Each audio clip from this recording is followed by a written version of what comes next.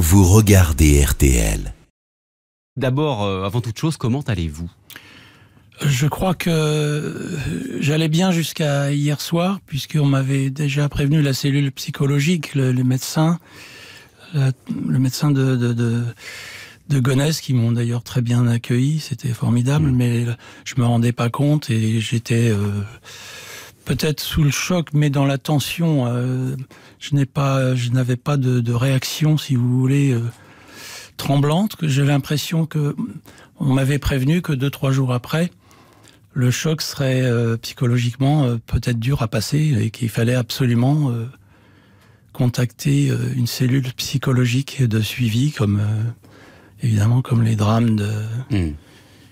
Comme et j'ai l'impression qu'effectivement, euh, ce matin, euh, le, le stress est beaucoup plus fort qu'hier et avant-hier.